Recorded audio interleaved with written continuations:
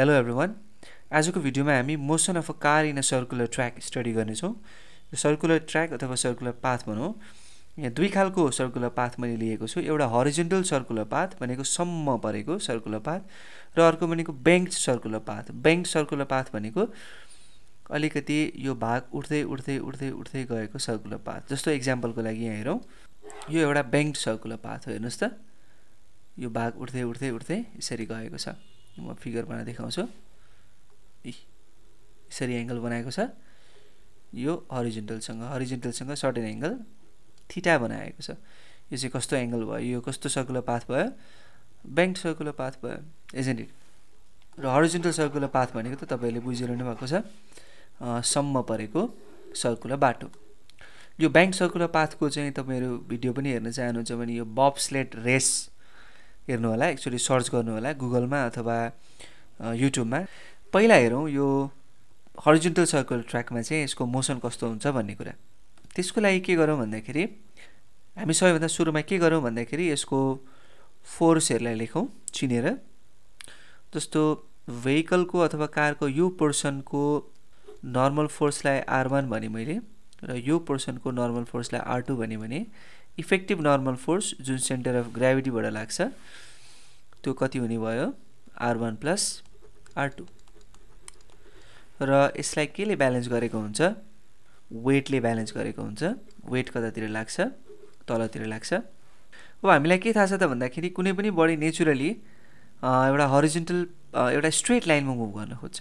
तर यो बडीलाई के गराउनु छ हामीले? यो सर्कुलर ट्र्याकमा मुभ गराउनु छ। सो यो बडीलाई सर्कुलर ट्र्याकमा मुभ गराउन सक्ने एउटै मात्र फोर्स हामीसँग छ र त्यो फोर्स नै के हो? Frictional force. फ्रिक्सनल फोर्सले चाहिँ यो बडीलाई सर्कुलर ट्र्याकमा बाँधेर राखेको हुन्छ। अप टु सम एक्सटेन्ड है अप टु सम लिमिट त्यो लिमिटको बारेमा हामी कुरा गर्नेछौँ। भनेपछि यो बडीले नेसेसरी सेन्ट्रिपिटल फोर्स जुन छ त्यो नेसेसरी सेन्ट्रिपिटल फोर्स केबाट पाउँदो रहेछ? भन्नुहोस् त। फ्रिक्सनबाट पाउँदो रहेछ फ्रिक्सनल फोर्सबाट पाउँदो रहेछ। सेन्टर अफ दिस सर्कुलर पाथदेखि यो बडीसम्मको डिस्टेन्सलाई हामीले आर भन्यो भने यो जुन एफ वान र एफ टूको सम छ त्यो एफ वान र एफ टूको समलाई मैले एमभी स्क्वायर बाई आर लेख्न पाउँछु। किनभने frictional force is provided by the sorry centripetal force is provided by the frictional force so frictional फोर्सको sum नै के हो सेन्ट्रिपिटल फोर्स हो। र यो V is the velocity of the body of the यो कार त्यस्तै मैले के लेख्न पाउँछु? R one plus R two equals to MG लेख्न पाउँछु। यो दुइटा इक्वेसन छ मसँग र अझै एउटा हामीसँग इक्वेसन के छ भन्दाखेरि यदि यो टायर र यो रोड बिचको चाहिँ कफिसियन्ट अफ फ्रिक्सन म्यु रहेछ भने एफ वानको ठाउँमा म्यु आर वान र एफ टूको ठाउँमा म्यु आर टू लेख्न पाइन्छ। म्यु कमन लिइसके पछाडि R one plus R two बाँकी रह्यो। Equals to mv square by R हुने भयो। र यो R one plus R two भनेको त एमजी छ। So mg equals to mv square by R हुने भयो। एम र am कट्यो। Therefore V square equals to mu Rg यसो गरौँ। For V equals to under root of mu R g यो V भनेको maximum velocity with which the car can take this circular turn यो circular turn चाहिँ move गर्नका लागि योभन्दा उसले कि यति भेलोसिटीले कुद्नुपर्छ यो कार कि योभन्दा कम्ती भेलोसिटीले कुद्नुपर्छ योभन्दा माथिको भेलोसिटी हुने बित्तिकै यो सर्कुलर ट्र्याकभन्दा बाहिर जान्छ यो गाडी. इट विल स्किड भनेको यो चिप्लिन्छ र सर्कुलर ट्र्याकभन्दा बाहिर जानेछ।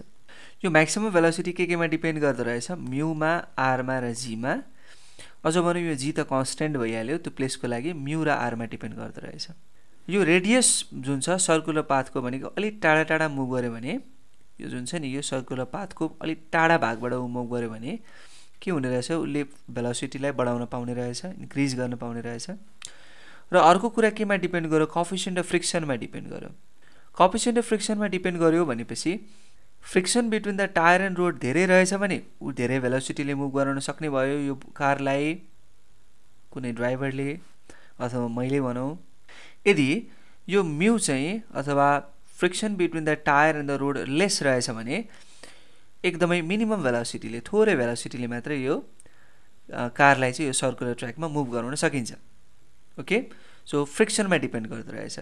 सो सपोज यो बाटो चाहिँ आइसी छ भनेको यसमा आइस छ आइसी रोड छ अथवा वेट छ भनेको बाटो चिप्लो छ ओइली छ भने त्यस्तो केसमा चाहिँ के हुने रहेछ? एकदमै रिस्क हुने रहेछ यस्तो बाटोमा गाडी कुदाउनको लागि यस्तो कन्डिसनमा किनभने भी एकदमै थोर हुनु पऱ्यो भी अलिकति बढाउने बित्तिकै यो स्किड हुने चान्स पनि बढ्दो रहेछ। अब हामी जहिले पनि फ्रिक्सनमा त डिपेन्ड गर्न सक्ने रहेनछौँ। फ्रिक्सनमा मात्रै डिपेन्ड गऱ्यो भने त हाम्रो स्किड हुने चान्स एकदमै बढ्यो होइन? सो अब हामी के गर्छौँ भन्दाखेरि हामी चलाखीपूर्ण तरिकाले रोडलाई ब्याङ्क्ड गरिदिन्छौँ। रोडलाई ब्याङ्क्ड गरिदिउँ भनेको हरिजेन्टलसँग रोडलाई के एङ्गल बनाएर उठाइदिन्छौँ माथिपट्टि। सो यस्तो गरौँ। यो हरिजेन्टल छ। यो हरिजेन्टलसँग कति एङ्गल बनाएर थिटा एङ्गल बनाएर यसलाई हामीले माथि उठाइदिउँ अब अहिलेको जस्तै हामीलाई के थाहा छ यतापट्टिको पोर्सनले गर्दाखेरि नर्मल फोर्स यतापट्टिको पोर्सनले गर्दाखेरि normal force effective normal force यसरी लाग्ने भयो।